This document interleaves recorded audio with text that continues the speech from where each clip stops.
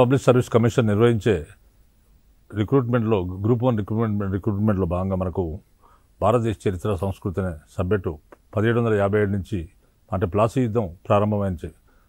ప్లాసీ యుద్ధం బెంగాల్లో బెంగాల్ నవాబైన సిరాజ్ ఉద్దౌలాకు బ్రిటిష్ వారికి పదిహేడు వందల యాభై యాభై ఏడు సంవత్సరంలో ప్లాసీ యుద్ధం జరిగింది. ఆ ప్లాసీ యుద్ధంలో సిరాజ్ ఉద్దౌలా ఓడిపోవడం జరిగింది. అక్కడి నుంచి బెంగాల్ క్రమంగా జరిగిన బెంగాల్ యుద్ధాల్లో బ్రిటిష్ వారు బెంగాల్ను జయించడం జరిగింది. అక్క సిలబస్ అక్కడి నుంచి స్టార్ట్ అయితే పంతొమ్మిది వందల నలభై ఏడు సంవత్సరంలో భారతదేశానికి స్వాతంత్రం వచ్చేంత వరకు కూడా ఈ సిలబస్ అందులో ఉంటుంది.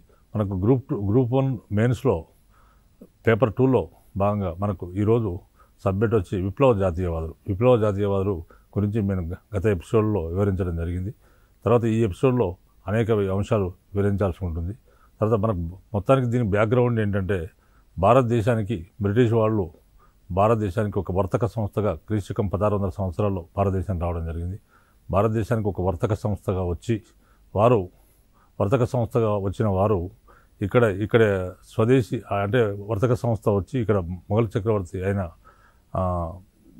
జహాంగీర్ దగ్గర అనుమతి తీసుకున్న సర్ థామస్ రావు అనే బ్రిటిష్ అధికారి ఈ విధంగా వర్తకాన్ని ప్రారంభించాడు. భారతదేశం వీళ్ళు ప్రారంభించారు. రకరకాల పట్టణాల్లో వర్తకం ప్రారంభించారు. తర్వాత రకరకాల విదేశీయులు యూరోపియన్లు భారతదేశానికి వర్తకం కోసం వచ్చారు. వాళ్ళు మొ- మొట్టమొదటి వారు పోర్చుగీస్ వారు తర్వాత డచ్ వారు తర్వాత డెన్ వారు తర్వాత ఇంగ్లీష్ బ్రిటిష్ వారు తర్వాత ఫ్రెంచ్ వారు వచ్చారు. ఈ విధంగా పరస్పరాధిక్యం కోసం వీరి మధ్య పోరాటాలు జరిగినాయి. చివరికి వీరందరూ ఇక్కడి నుంచి వదిలి మా ఓన్లీ బ్రిటిష్ వారు ఆధిపత్యాన్ని వహించడం జరిగింది. బ్రిటిష్ వారు మిగతా వాళ్ళందరినీ కూడా ఇక్కడి నుంచి పంపించి వేసి మొత్తాన్ని కూడా వాళ్ళు స్వా వర్తకాన్ని మొత్తం కూడా వారి స్వాధీనంలోకి వచ్చింది.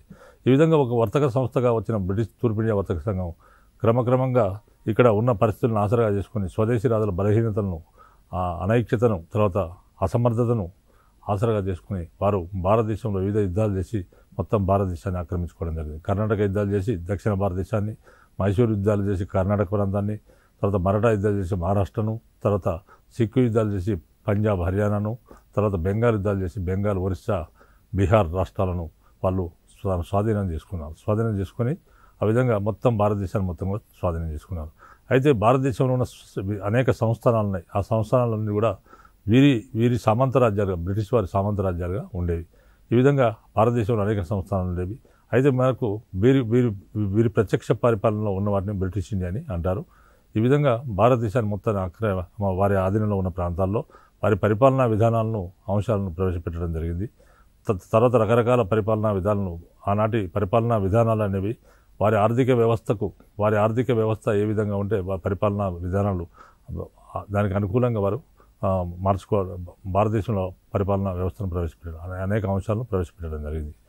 ఆ విధంగా భారతదేశాన్ని ఒక వలస దేశంగా అంటే బ్రిటిష్ వారు రాకముందు భారతదేశం ఒక ఆర్థిక ఆర్థికంగా పరిపుష్టి పొంది ఉన్న దేశం. అయితే బ్రిటిష్ వారు వచ్చిన తర్వాత భారతదేశాన్ని మొత్తాన్ని ఆక్రమించుకునేవారు.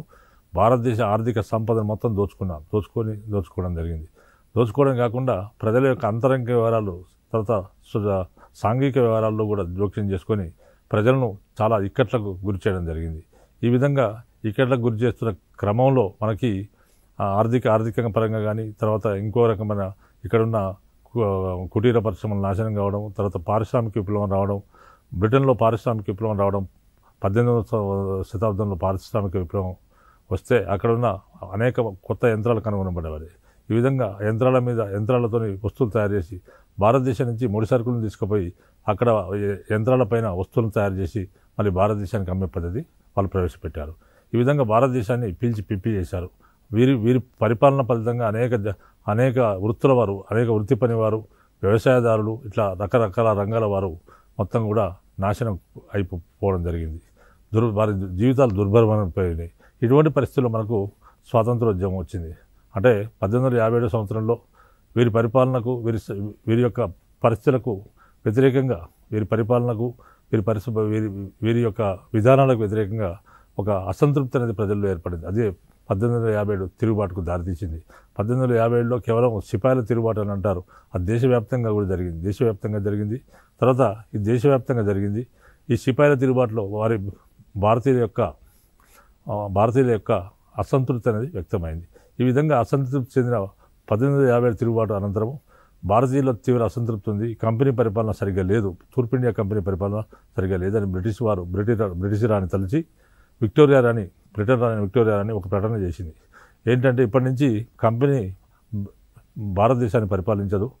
కేవలము బ్రిటిష్ బ్రిటన్ రాణి మాత్రమే భారతదేశాన్ని పరిపాలిస్తుంది.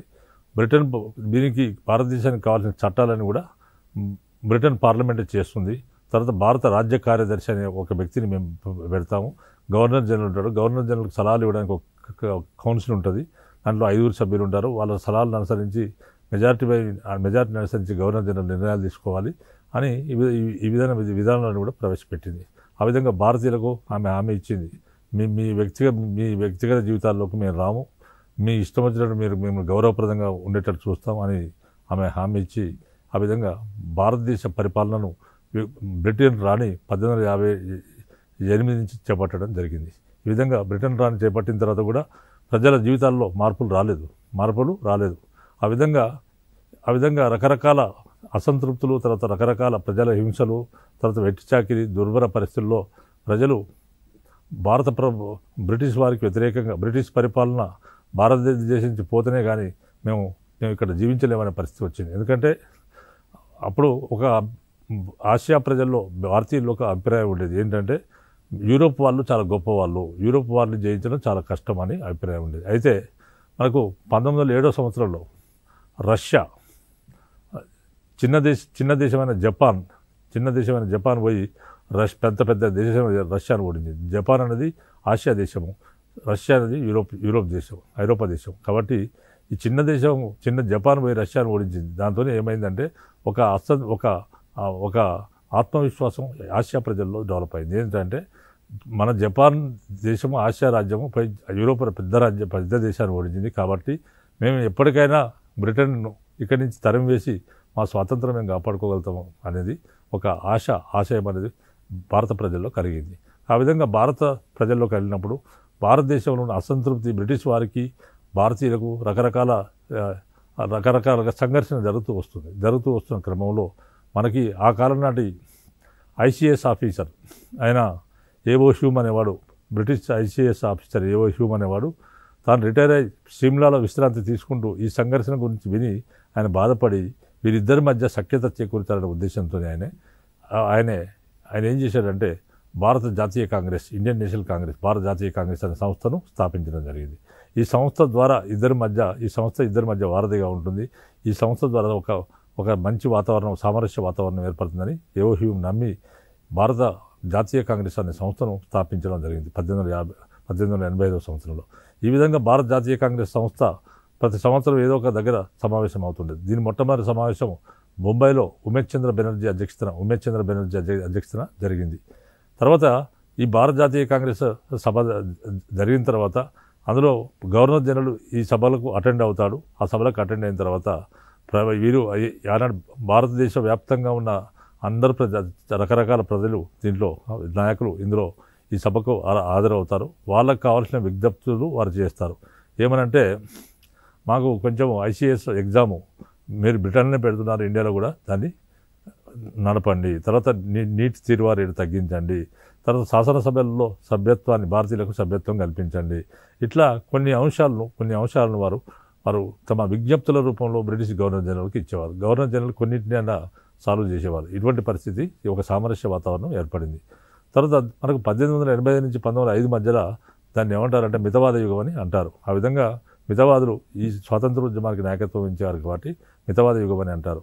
తర్వాత పంతొమ్మిది వందల ఐదు నుంచి పంతొమ్మిది వందల పంతొమ్మిది వరకు ఉన్న కాలాన్ని అతివాద యుగం అని అంటారు. తర్వాత పంతొమ్మిది వందల పంతొమ్మిది నుంచి పంతొమ్మిది వందల నలభై ఏడు సంవత్సరాల మధ్య కాలాన్ని గాంధీ యుగం అని అంటారు. ఇలా మన స్వాతంత్రోద్యాన్ని స్వాతంత్రోద్యమాన్ని విభజించడం జరిగింది. అయితే స్వాతంత్రోద్యమంలో అనేక మంది మితవాదులు పాల్గొన్నారు తర్వాత అధివాదులు పాల్గొన్నారు. కానీ ఈ ఈ కాలంలో విప్లవవాదులు కూడా స్వాతంత్రోద్యమంలో పాల్గొన్నారు. విప్లవవాదులు స్వాతంత్రోద్యమంలో ఏ విధంగా పాల్గొన్నారు? వారి యొక్క కార్యకలాపాలు ఏంది? వారు ఎలాంటి చర్యలు చేశారు? వారు వారు చేసిన త్యాగం ఏంటి? అనేది మనము ఈ సబ్జెక్ట్లో చదవడం జరుగుతుంది. అంటే మనకు భారతదేశ స్వాతంత్రోద్యమంలో జాతి విప్లవవాదుల పాత్ర ఏంటి అనేది ప్రశ్న గ్రూప్ వన్ మెయిన్స్లో గతంలో చాలాసార్లు అడిగింది అడిగారు. కాబట్టి భారతదేశ స్వాతంత్ర పోరాట స్వాతంత్రోద్యమంలో విప్లవవాదుల పాత్ర. అందుకే అందుకే ఇదివరకు కొన్ని ఎపిసోడ్స్ దీని మీద నేను చెప్పడం జరిగింది. చివరి ఎపిసోడ్ ఇప్పుడు ఇప్పుడు చెప్పడం జరుగుతుంది. మనకు భారత విప్లవవాదుల్లో సుభాష్ చంద్రబోస్ ఒకరు. సుభాష్ చంద్రబోస్. సుభాష్ చంద్రబోసు పద్దెనిమిది వందల తొంభై ఏడు నుంచి పంతొమ్మిది వందల పది పంతొమ్మిది వందల నలభై ఐదు మధ్య ఉన్నాడు. సుభాష్ చంద్రబోసు అఖండు అఖండిత దేశభక్తుడు గొప్ప నాయకుడు ఆయన. సుభాష్ చంద్రబోసు బ్రిటిష్ వారిని ఆయుధాలతో గెంటి వే వేయాలనుకున్న మహనీయుడు. అంటే ఒక హింసా మార్గం ద్వారానే భారతదేశం నుంచి బ్రిటిష్ వారిని తరిమివేయచ్చు. మనం అహింసా మార్గం తర్వాత స- సత్యాగ్రహం ద్వారా ఏం కాదు. మహాత్మా గాంధీ చెప్పే అహింసా సత్యాగ్రహం మనకు పనికిరాదు. కేవలం హింసావాదం వల్లనే భారతదేశం నుంచి బ్రిటిష్ పరిపాలన అంతం చేసి బ్రిటిష్ వారిని తరిమివేయాలని సుభాష్ చంద్రబోసు ఆ యొక్క కాంక్షించాడు. ఈ విషయంలో విదేశీయుల సహాయాన్ని కోరడం కూడా తప్పు కాదని భావించారు. విదేశీయులు అంటే బ్రిటిష్ వారు కాకుండా యూరోప్లో అనేక దేశాల వారు ఉన్నారు. అంటే బ్రిటన్కు వ్యతిరేకంగా ఉన్న దేశాలు ఉన్నారు. జర్మనీ ఉన్నది ఇటలీ ఉన్నది ఇట్లా జపాన్ ఉన్నది ఇట్లా అనేక దేశాల వారు ఉన్నారు. సింగపూర్ ఇట్లా అనేక దేశాల వారి సహాయం కూడా తీసుకోవడం తప్పులేదు బ్రిటిష్ బ్రిటి బ్రిటిష్ వారిని ఇక్కడి నుంచి తరిమివేయడంలో ఇతర దేశాల వారి సహాయం చే- తీసుకోవడం తప్పులేదని కూడా సుభాష్ చంద్ర సుభాష్ చంద్రబోస్ భావించడం జరిగింది.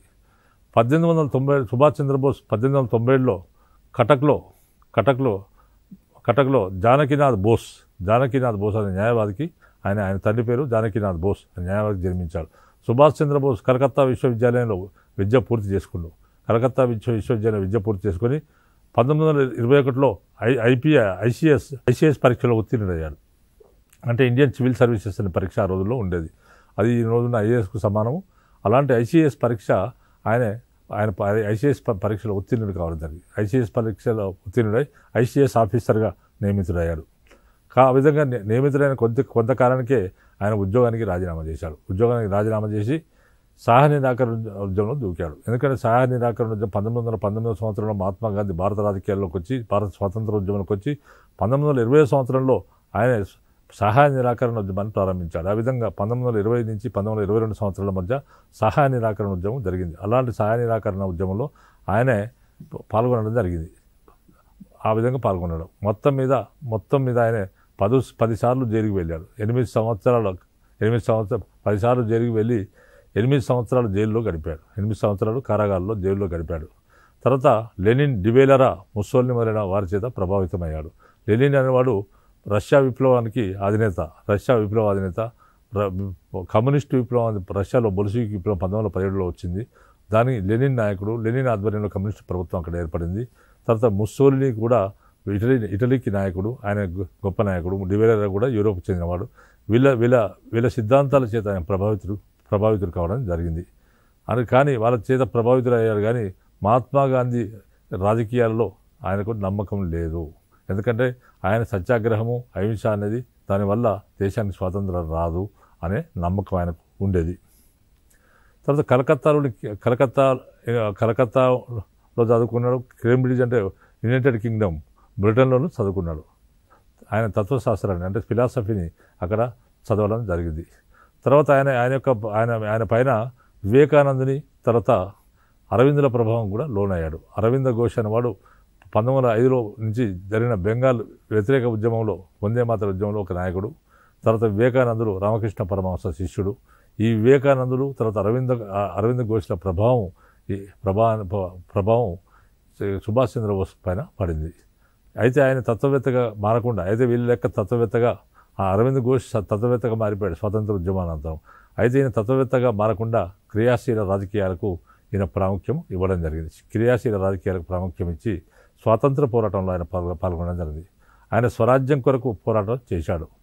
పోరాటం చేసింది the Indian struggle the Indian struggle అనే గ్రంథంలో ది ఇండియన్ స్ట్రగుల్ అనే గ్రంథాన్ని బోస్ సుభాష్ చంద్రబోస్ రచించాడు. తన తన ఇండియన్ స్ట్రగుల్ అనే గ్రంథంలో సుభాష్ చంద్రబోస్ ఆనాటి రాజకీయాలను చాలా విశ్లేషణాత్మకంగా చాలా విశ్లేషణాత్మకంగా వివరించడం జరిగింది. చిత్తరంజన్ దాస్ ప్రారంభించిన ఒక పత్రికకు ఈయన బాధ్యత వహించాడు. చిత్తరంజన్ దాస్ ఒక స్వాతంత్ర ఉద్యమ నాయకుడు. చిత్తరంజన్ దాస్ చిత్తరంజన్ దాస్ ప్రారంభించిన పత్రికకు ఈయన బాధ్యత వహించాడు అంటే రెస్పాన్సిబిలిటీ తీసుకున్నాడు. ఈయన నడపడం మొదలుపెట్టాడు. తర్వాత వేల్స్ రాకుమారుడు భారతదేశానికి వచ్చిన సందర్భంగా వేల్స్ రాకుమారుడు అంటే బ్రిటన్ నుంచి వేల్స్ రాకుమారుడు భారతదేశానికి వచ్చిన సందర్భంగా ఆయనకు వేల్స్ రాకుమారుడి ఆ రాకకు వ్యతిరేకంగా ప్రదర్శన జరిగాయి. ఆ ప్రదర్శనలో ఈయన ఈయన ఈయన ఈయన పాల్గొన్నాడు. పాల్గొని జైలుకు పోవడం జరిగింది. తర్వాత చిత్తరంజన్ దాస్ కలకత్తా మేర అయినప్పుడు చిత్తరంజన్ దాస్ కలకత్తాకు మేయర్ అయినప్పుడు ఆయన కింద ప్రధాన కార్యనిర్వాహకారిగా పనిచేశాడు. చిత్ చిత్తరంజన్ చిత్తరంజన్ దాస్ కలకత్తాకు మేయర్ అయ్యాడు. ఆ మేయర్ అయినప్పుడు ఆయన కింద ప్రధాన కార్యదర్శి కార్య ప్రధాన ప్రధాన కార్యనిర్వాహకారిగా ఈయన పనిచేయడం జరిగింది. తర్వాత ఈయన ఇండిపెండెన్స్ లీగ్ ఇండిపెండెన్స్ లీగ్ అనే సంస్థను స్థాపించాడు. ఇండిపెండెన్స్ లీగ్ అనే సంస్థను సుభాష్ చంద్రబోస్ స్థాపించడం జరిగింది. తర్వాత సైమన్ సైమన్ కమిషన్ను బహిష్కరించే కార్యక్రమంలో పాల్గొన్నాడు. పంతొమ్మిది వందల పంతొమ్మిదవ సంవత్సరంలో మాంటింగ్ జేమ్స్ పార్డ్ సంస్కరణలు అనేవి భారతదేశంలో ప్రవేశపెట్టబడ్డాయి. ఆ విధంగా మాంటింగ్ జేమ్స్ పార్డ్ సంస్కరణలు భారతదేశంలో ప్రవేశపెట్టినప్పుడు మాంటింగ్ జేమ్స్ పార్డ్ సంస్కరణలు భారతదేశంలో ఏ విధంగా అమలవుతున్నాయో తెలుసుకోమా తెలుసుకోవాల్సిందిగా సైమన్ కమిషన్ బ్రిటన్ పార్లమెంట్ భారతదేశానికి పంపింది. ఇలాంటి సైమన్ కమిషన్లో ఒక భారతీయుడు కూడా లేని కారణంగా అప్పుడు ప్రజలు ఈ సైమన్ కమిషన్ను బహిష్కరించడం జరిగింది. ఆ ఈ ఉద్యమాల్లో సైమన్ కమిషన్ బహిష్క సైమన్ గోబ్యాక్ అనే ఉద్యమంలో సైమన్ కమిషన్ బహిష్కరించే కార్యక్రమాల్లో సుభాష్ చంద్రబోస్ పాల్గొన్నాడు. పంతొమ్మిది వందల ముప్పై ఎనిమిదో సంవత్సరంలో భారత జాతీయ కాంగ్రెస్ సమావేశాలు హరిపురాలో జరిగాయి. పంతొమ్మిది వందల ముప్పై ఎనిమిదో సంవత్సరంలో భారత జాతీయ కాంగ్రెస్ సమావేశాలు హరిపురాలో జరిగాయి. ఈ ఈ ఈ కాంగ్రెస్ సమావేశాలకు సుభాష్ చంద్రబోస్ అధ్యక్షత వహించాడు. తర్వాత మరుసటి సంవత్సరం అంటే పంతొమ్మిది ముప్పై తొమ్మిదో సంవత్సరంలో కూడా మహాత్మా గాంధీ ఒక ఒక క్యాండిడేట్ నిలబెట్టాడు. పట్టాభి సీతారామయ్యను పంతొమ్మిది వందల ముప్పై తొమ్మిదో సంవత్సరం జరిగే భారత జాతీయ కాంగ్రెస్ సమావేశాలకు అధ్యక్షం చేయడానికి ప్రయత్నం చేశారు. కానీ సుభాష్ చంద్రబోసు సీతారామాయను ఓడించాడు. పటాపి సీతారామాయణ ఓడించి మరలా పంతొమ్మిది వందల ముప్పై తొమ్మిదో సంవత్సరంలో కూడా సుభాష్ చంద్రబోస్ భారత జాతీయ కాంగ్రెస్కి అధ్యక్షత వహించడం జరిగింది. తర్వాత కాంగ్రెస్ నాయకుల భారత జాతీయ కాంగ్రెస్లో ఉన్నప్పుడు జాతీయ కాంగ్రెస్ నాయకుల కుతంత్రాలను తట్టుకోలేక కుట్రలను కుతంత్రాలను తట్టుకోలేక సుభాష్ చంద్రబోస్ ఆ పార్టీకి రాజీనామా చేశాడు. ఆ పార్టీకి రాజీనామా చేసి ఫార్వర్డ్ బ్లాక్ ఫార్వర్డ్ బ్లాక్ అనే పార్టీని స్థాపించుకోవడం జరిగింది. ఫార్వర్డ్ బ్లాక్ అనే పార్టీని స్థాపించాడు జీవితం ఈ విధంగా ఫార్వర్డ్ బ్లాక్ అనే పార్టీని స్థాపించాడు తర్వాత రెండో ప్రపంచ యుద్ధ కాలంలో పంతొమ్మిది ముప్పై తొమ్మిది నుంచి పంతొమ్మిది నలభై ఐదు సంవత్సరాల మధ్య రెండో ప్రపంచ యుద్ధం జరిగింది. ఈ రెండో ప్రపంచ యుద్ధ కాలంలో సావర్కర్ సలహా సలహాపై సావర్కర్ అనే స్వాతంత్ర సమర స్వాతంత్ర వీరుని సలహా పైన సుభాష్ చంద్రబోస్ భారతదేశం నుంచి తప్పించుకొని కాబుల్ మీదుగా జర్మనీకి వెళ్ళిపోయాడు. కాబుల్ మీదుగా జర్మనీ దేశానికి వెళ్ళాడు. అక్కడ భారతీయుల సాయంతో ఫ్రీ ఇండియన్ ఆర్మీని స్థాపించాడు. అక్కడ జర్మనీలో ఉన్న భారతీయులు ఎవరైతే ఉన్నారో వాళ్ళ సాయంతో ఒక free Indian army free Indian army అనే ఆర్మీని ఆయన స్థాపించడం జరిగింది. తర్వాత ఫ్రీ ఇండియన్ ఆర్మీని స్థాపించి అనేక మంది సైనికులను అంతలో చేర్చడం జరిగింది. తర్వాత ఆగ్నేయ ఆసియాలో జపాన్ పట్టుకున్న నలభై ఐదు వేల మంది బ్రిటిష్ సైన్యాన్ని బ్రిటిష్ సైన్యాన్ని రాస్ బిహార్ బోస్ స్వాధీనం చేసుకొని ఆజాద్ హిందూ ఫౌజ్ని స్థాపించాడు.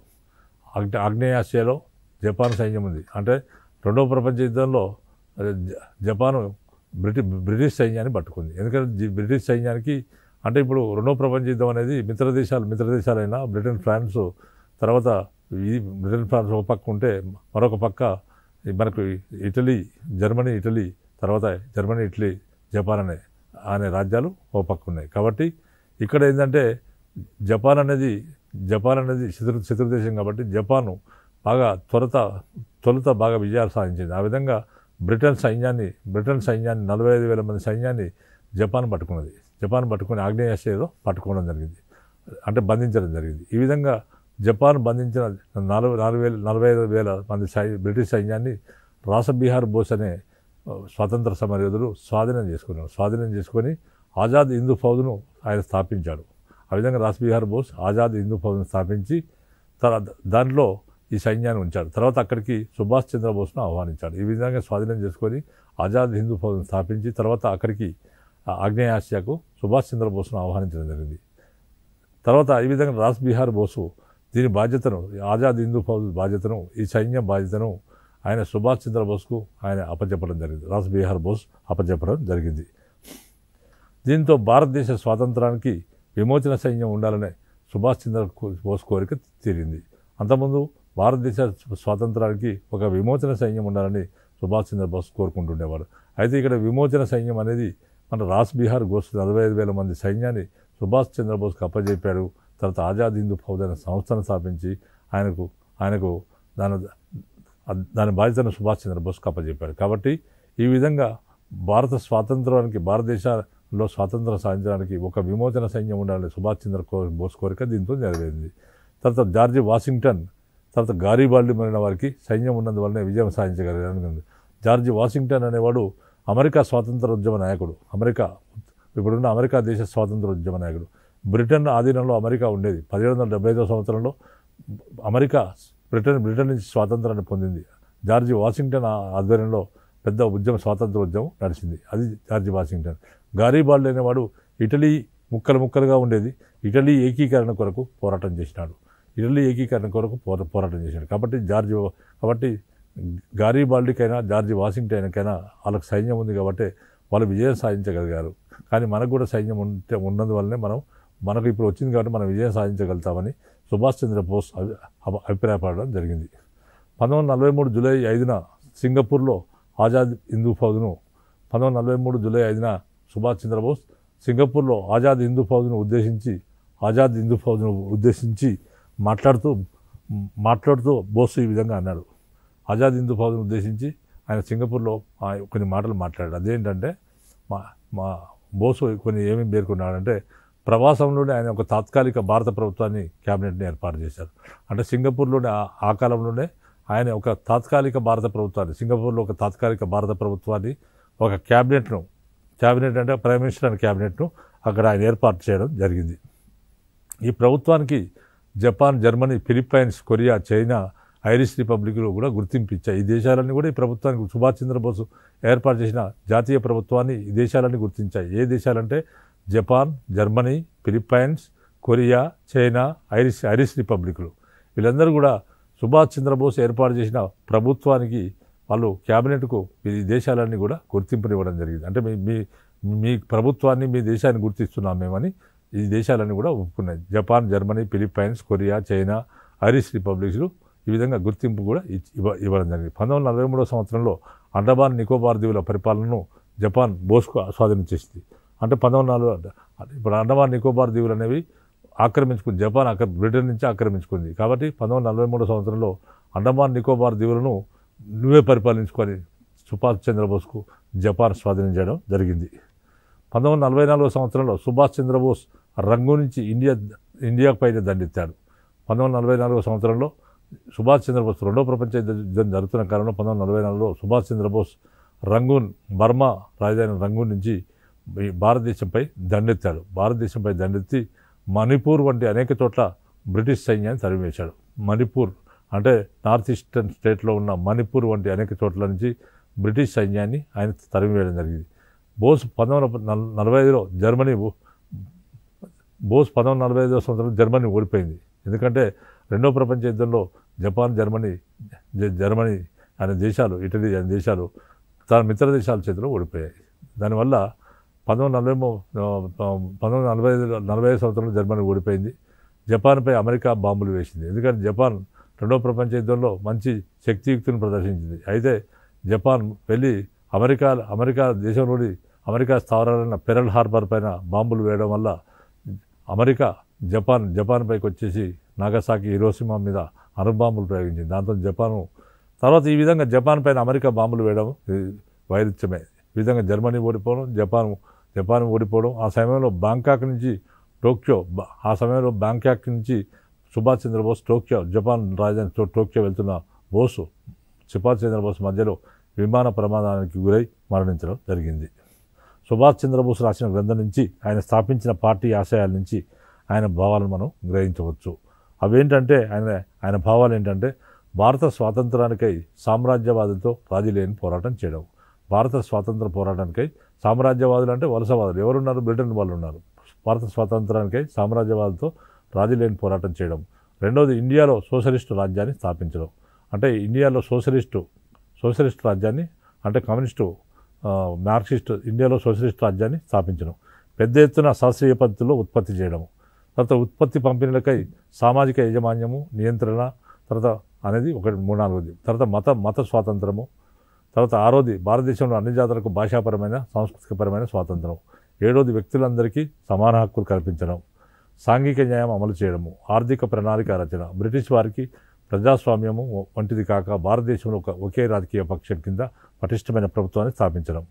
ఈ పైన చెప్పిన అంశాలన్నీ చూస్తే బోసు అటు ఫాసిజాన్ని ఇటు కమ్యూనిజాన్ని రెండింటిని అను అభిమానించడం తెలుస్తుంది. ఫాసిజం అంటే ముసోలిని ముసలి ఇటలీలో ముసోలి ముసోలిని ఏర్పాటు చేసింది ఫాసిజం. దాంట్లో కొంచెం నియంతృత్వం ఉండేది. అదేవిధంగా రష్యాలో కార్ల్ మార్క్స్ సిద్ధాంతాన్ని కమ్యూనిజాన్ని పాటించారు. అంటే ఫాసిజాన్ని పాటించారు కమ్యూనిజాన్ని రెండింటిని అభిమానించినట్టు మనకు తెలుస్తుంది. వాస్తవం ఈ రెండింటికి సమన్వయం కుదుర్చాలని కూడా ఆయన తన గ్రంథంలో స్పష్టంగా పేర్కొన్నాడు. భారతదేశానికి రాజకీయంగానే కాకుండా ఆర్థికంగా కూడా విముక్తి కలిగించాలనే కలలు కన్న ఉత్తమ భారత భారతీయుడనే కార్మికవాదాన్ని మతాన్ని వాస్తవక వాస్తవ దృక్పథాన్ని ఆచరణాత్మక కార్యకలాపాలను ఉద్రేకాన్ని వీరత్వాన్ని దేశభక్తిని కలిపితే బోస్ బొమ్మ తయారవుతుందని చరిత్రకారుల విశ్వాసం. Indian National Army Indian INA Indian National Army విచారణ. రెండో ప్రపంచ యుద్ధం పూర్తి కాగానే బ్రిటిష్ ప్రభుత్వం తన చేతికి చిక్కిన సుభాష్ చంద్రబోస్ సైన్యాన్ని రెండో ప్రపంచ యుద్ధం కంప్లీట్ కాగానే సుభాష్ చంద్రబోస్ సైన్యము సుభాష్ చంద్రబోస్ చనిపోయాడు. సుభాష్ చంద్రబోస్ సైన్యం సైన్యం బ్రిటిష్ వారికి చిక్కింది. ఈ విధంగా బ్రిటిష్ వారి చేతి వారు నిర్బంధించారు. సుభాష్ చంద్రబోస్ సైన్యాన్ని సైనిక న్యాయస్థానంలో విచార విచారానికి బ్రిటిష్ వారు పూనుకున్నారు.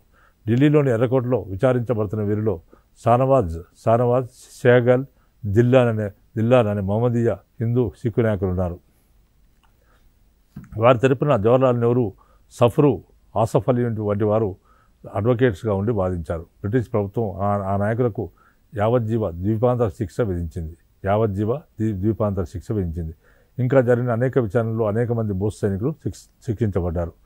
అయితే దీన్ని వ్యతిరేకంగా దేశమంతటా బ్రహ్మాండమైన ప్రదర్శనలు జరగడంతో భారత సర్వసైన్యాధ్యక్షుడైన సర్వసైన్యాధ్యక్షుడు అచీష్ లేక ఆ ముగ్గురి నాయకుల శిక్షను రద్దు చేయడమే కాక పదకొండు వేల మంది ఇంకా పదకొండు వేల మంది ఇండియన్ నేషనల్ ఆర్మీ వారిని విడుదల చేశారు. మిగిలిన విచారణలు కూడా భారత ప్రభుత్వం నిలుపుదల చేసింది. తర్వాత నౌకాదళం తిరుగు తిరుగుబాటు. బ్రిటిష్ వారి పట్ల రాను రాను సైనిక దళాల్లో కూడా కూడా ముఖ్యంగా నౌకాదళంలో కూడా అవిధేయత పెరిగింది. పద్దెనిమిది వందల యాభై ఏడవ సంవత్సరం తిరుగుబాటు తర్వాత మొట్టమొదటిసారిగా పెద్ద ఎత్తున సైనిక దళంలో తిరుగుబాటు జరిగింది. అదేంటంటే పంతొమ్మిది వందల నలభై ఆరో సంవత్సరం ఫిబ్రవరి పంతొమ్మిదవ తేదీన బొంబాయిలోని నౌకాదళం వారు తమ కోరికను తీర్చకపోతే సామూహికంగా రాజీనామా చేస్తామని ప్రభుత్వానికి నోటీస్ ఇవ్వడం జరిగింది. చివరికి వల్ల సర్దార్ వల్లభాయ్ పటేల్ ఖరీదు చేసుకుంటేనే అని పరిస్థితి చక్కబడలేదు. ఈ తిరుగుబాటుతో పాటు వైమానిక దళం సమ్మెలు ప్రారంభించింది. వీటన్నింటినీ బ్రిటిష్ ప్రభుత్వం అణచివేయగలిగింది. కానీ భారతదేశాన్ని తన పాదాల కింద అట్టిపెట్టుకోవడం ఎంత కష్ట సాధ్యమో అప్పుడు బ్రిటన్కి అర్థం. సో ఈ విధంగా మనం తీవ్ర జాతీయ విప్లవవాదుల విప్లవవాదుల యొక్క అంశాలు మనకు భారత స్వాతంత్రోద్యమంలో విప్లవవాదుల పాత్ర ఏంటి వారు ఏ- ఎలాంటి పాత్ర పోషించారనే గ్రూప్ వన్ మెయిన్స్లో ప్రశ్న అడిగినప్పుడు మనం ఈ విధంగా ఇవన్నీ మనం ఇంట్రడక్షన్ ఇస్తూ ఈ విధంగా మనం వివరించి వివరిస్తే ఎక్కువ మార్కులు వచ్చే అవకాశం ఉంది. కాబట్టి అభ్యర్థులు గమనించగలరు. ఇంతటితో ఈ ఎపిసోడ్ను ముగిస్తున్నాను.